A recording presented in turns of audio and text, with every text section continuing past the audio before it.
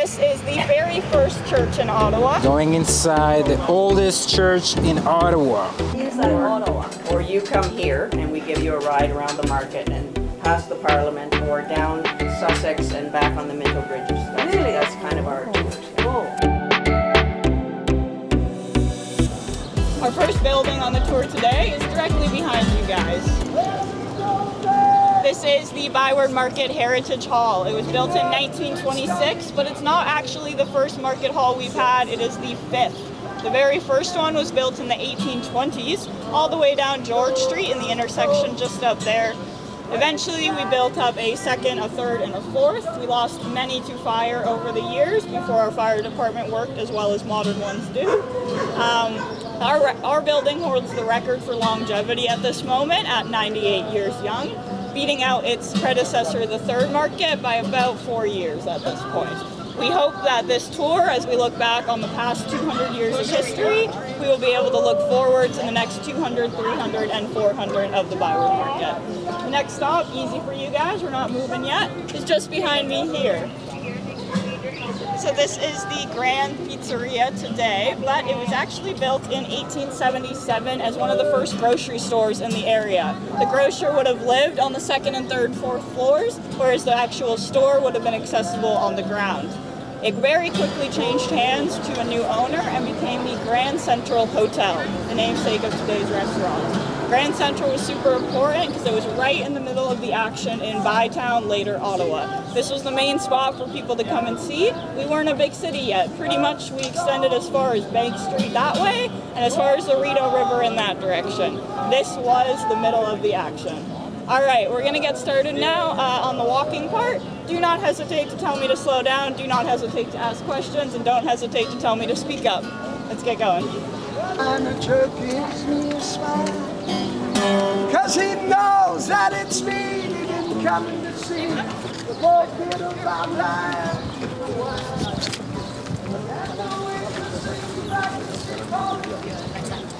Oui. Oui, un racine, un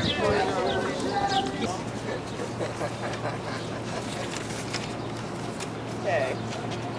Now, who here has been to, skated on, seen our gorgeous Rideau Canal? Majority of us. Awesome. Would you believe me if I told you you are standing on top of one of the parts of the canal? Oh no. So right now they're actually, right where we're standing, pardon me, there used to be a second chunk of the canal which was known as the bywash. This was the overflow. When the canal filled up too much with water because of heavy boats and heavy cargo, the water needed somewhere to go. Lower Town, this neighborhood, also used to be a swamp before the arrival of settlers. So they had to drain consistent water out of the area to make it dry land for building. The bywash uh, allowed this to happen. Started around where the National Art Center is today at the canal, came up underneath where the Rideau Center and Hudson's Bay are, down this street up to York Street, and then down King Edward where it later flowed out into the Rideau River. This was not just a uh, extra waterway, however. Many people in the neighborhood use this for cargo and goods on small boats to get them to their houses, things that they couldn't carry walk in or their horses couldn't haul. People did their laundry in the bywash. Some people chose to swim in the bywash. And there was even a mill on York Street that was uh, able to be powered by the strength of its water. The issue being is that it was also the first sewer in Ottawa, so a lot of household waste ended up in the bywash to be outflowed into the river before we had the infrastructure we do today. By the 1890s, the city government realized it's not quite healthy to have an open air sewer floating through the middle of downtown. So they decided to cover it up. It's still technically a part of our modern day sewer system today. It's been refurbished and rebuilt along some parts of it to meet our needs but it is still underneath us. If you were here for the 2019 uh, sinkhole collapse on Rideau Street, that was roughly on top of where the bywash also sits underground. So it was a mix of that and the new O train tunnels that caused the ground to collapse over there. Oh. Was that in the news? The big hole that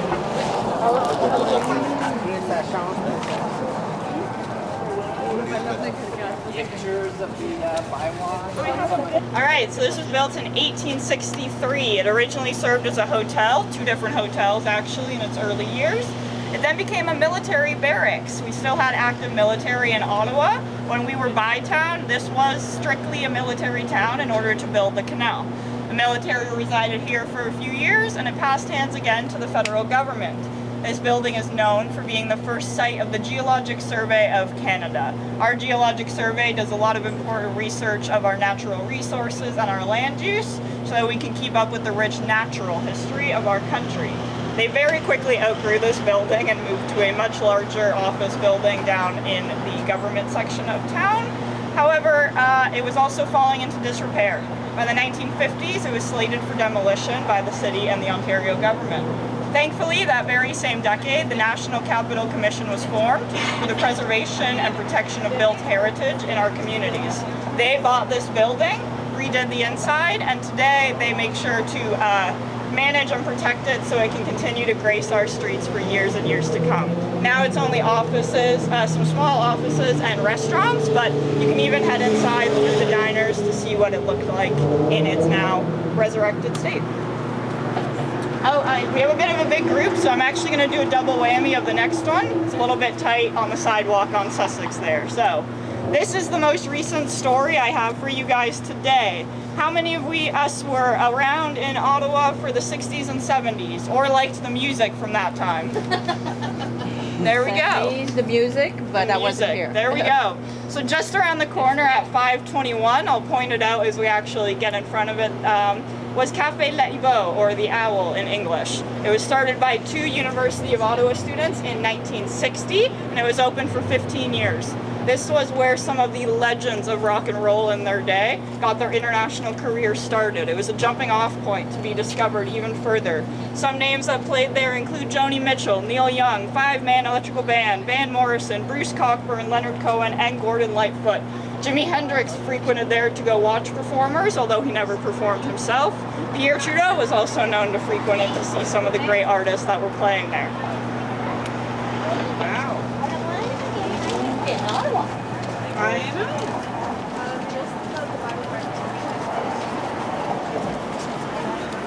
Oh, cool. Yes. Yeah. All right. Stick with me for a second, guys. Imagine you are completely quenched and super thirsty. Where do you go? Buy. Hopefully. Normally today that would be your tap or your Brita filter or your fridge, what have you, stuff we take for granted. Back in the day, before we actually had public drinking, or pardon me, in, indoor drinking fountains, the only way you could get your drinking water was from public wells. This marks the site, uh, actually one block away, of one of the early public wells in Ottawa. These are important for the community as many members could arrive at the same time and you could hang out with your neighbors when you're getting a drink. This one had a chain attached to a cup so you couldn't take the cup away for humans to drink out of, as well as a trough for the horses to drink water out of. If you take a look at here, you can see what the original look of the well was before they took it down. So I ended up buying the backyards. This used to be back alleyways for horses and cold storage, and the NCC wanted to preserve that history by making these beautiful public spaces for people to visit. This one is called the Jeanne d'Arc Courtyard in honor of the Jeanne d'Arc Institute that stood here from 18 or 1917 to 1980. It was a boarding house for young working women to be able to live while they were starting their careers.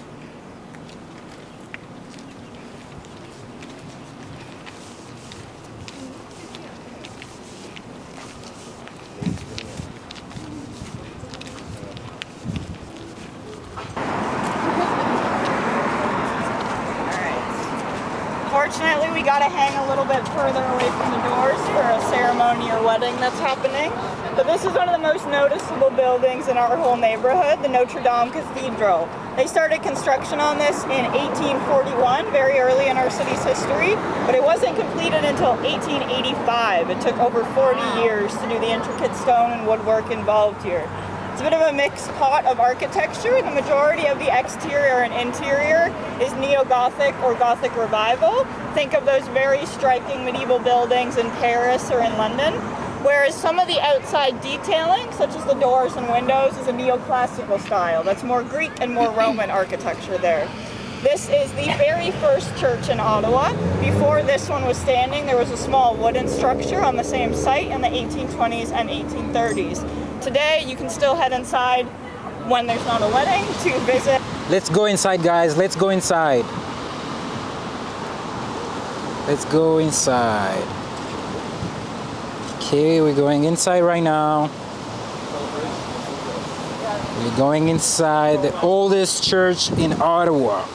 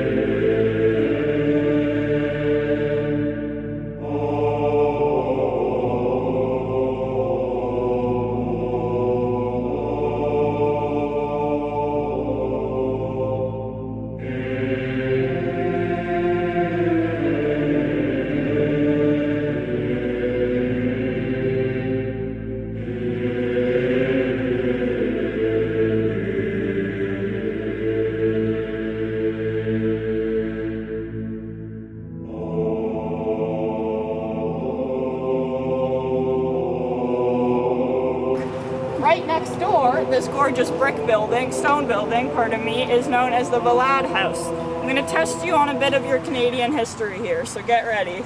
This was built in 1866. It is slightly newer than its neighbor, but it is still very, very important on the heritage scale. The original owner was Dr. Francois Xavier Valade. He was a doctor and ran his medical practice out of the first floor. This man was important because he was called to Regina by Sir John A. Macdonald, our first Prime Minister, to examine Louis Riel after his trial. Is that name ringing a bell for anyone here? Some. So, Louis Riel was the leader of the Métis in the Red River Rebellions in Manitoba. When Manitoba was being brought into Confederation, the Métis people and Louis Riel believed they did not have enough of a say on the rules to enter Confederation, so they chose to start up these rebellions. To the Canadian government, this was high treason, one of the worst crimes to commit back then. Uh, Louis Riel was sent to trial, and his lawyers wanted to frame him as insane. This would end up in him getting a lesser sentence than what he was about to receive. Unfortunately for him, Dr. F.X. Valade from this home here believed he could distinguish right from wrong, and that eventually led to the hanging of Louis Riel for his crimes. Francois Valade, however, came back here and continued to run his medical office, and today it is now in private ownership as a home once again. If anyone has already noticed, it might smell a little bit different where we're standing compared to the rest of downtown. And before we had cars, before we had buses, before we had our sometimes wonderful uh, O-Train system, how did we get around? Horses, Horses, horse and carriages. So a man named William Cundell opened some stables over on George Street in the 1800s and instantly became very important to the fold of this city. He had the contract for garbage collection with his horses. He provided the horses for the fire department and their wagons. He even did the snow plowing in the winter. Of course, he also sold horses to the everyday Joe because that was your car. Everyone needed one. this uh, he passed it down to his son Fred, who then passed it down to his grandson John. Don is the third generation of Cundells, still managing the stables just behind me here. These are the only stables still within the city limits, as there is now a bylaw preventing you from opening one unless you're zoned. us to come down. Yeah, unless you're zoned on um, agricultural land. So, um, when they wrote that bylaw, they actually wrote in a specific exception for the Cundell stables as they have been grandfathered in for being a historic business in the area. Today they have four miniature horses. You can see them at birthday parties and petting zoos, as well as two full-size horses that draw the wagon around for trips through the Byward and the parliamentary precinct. They are open for it. You can check the number and call and get your own personal wagon ride someday. And there are condos on top of it? That's interesting. I believe it's still a home. yes. All right, off to the next. Back in. And we get a special trip inside of the stables here, guys. Thank you.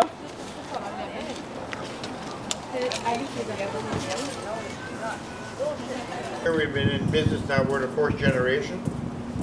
And uh, we used to have, uh, sell the horses on the market.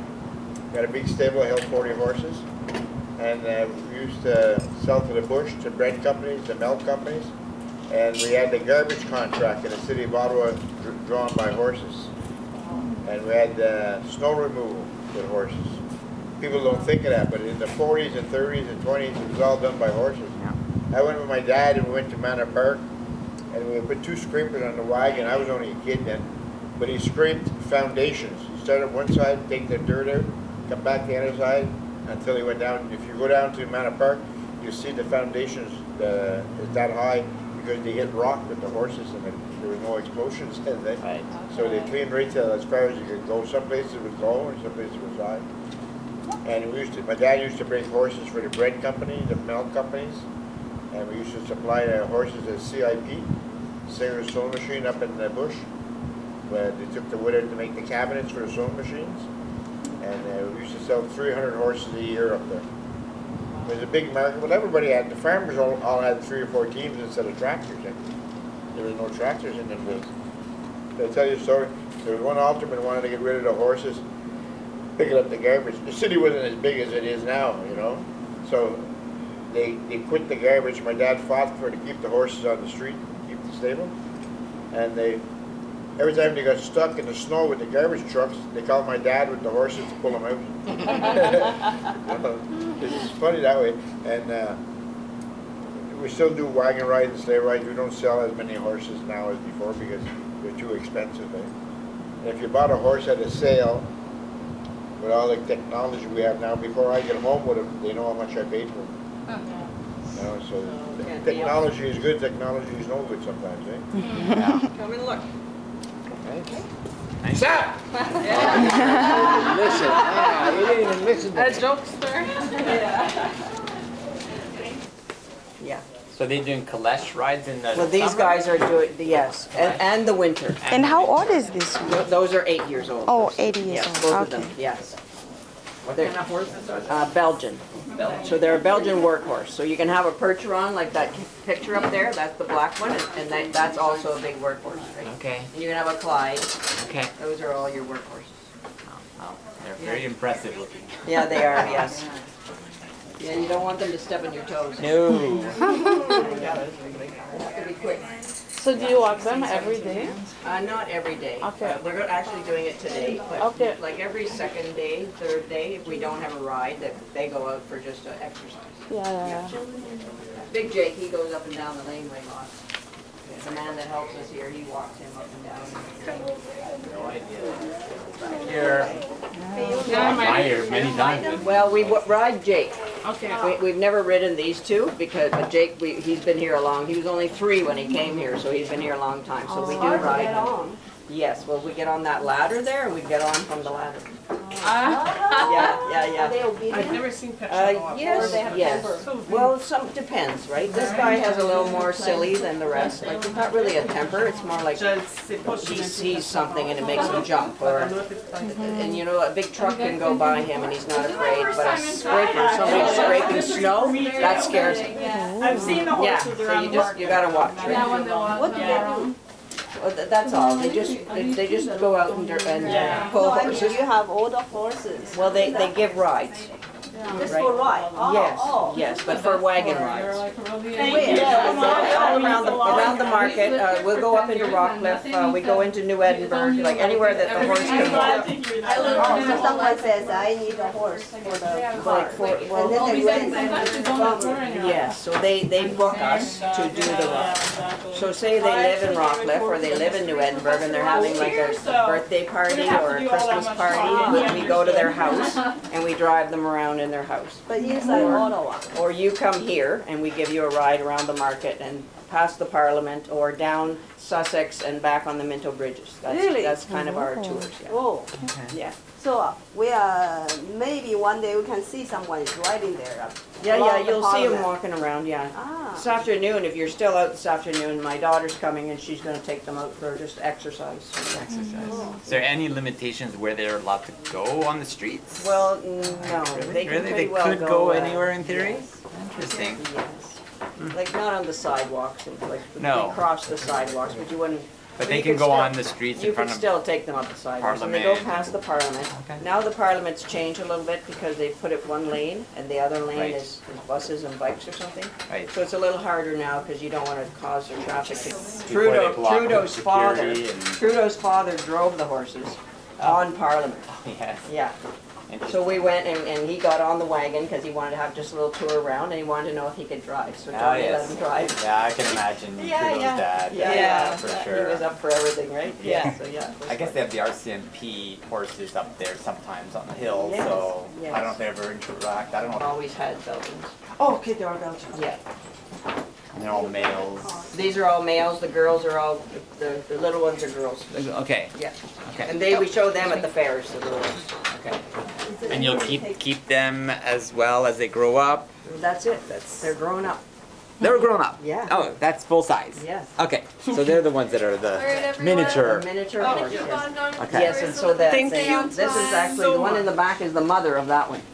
Yeah. Then how old are they? Uh, she's like about 15 there now, and 14 and about 12 now. Oh, Okay. Yeah. Well, that's Yeah. great. Well, thanks very much. Yeah, And no, Thank you so uh, much. Very interesting. just from these maps.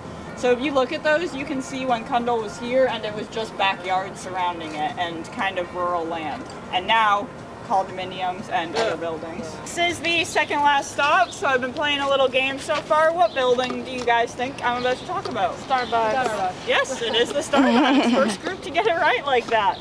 So long before the invention of the Chicago roast coffees and before coffee was even the most commonly drank beverage, this was opened in 1844 as the Sholdis Hotel. This acted just like our Grand Hotel early on the tour, important hotel for people wanting to be in the middle of the action.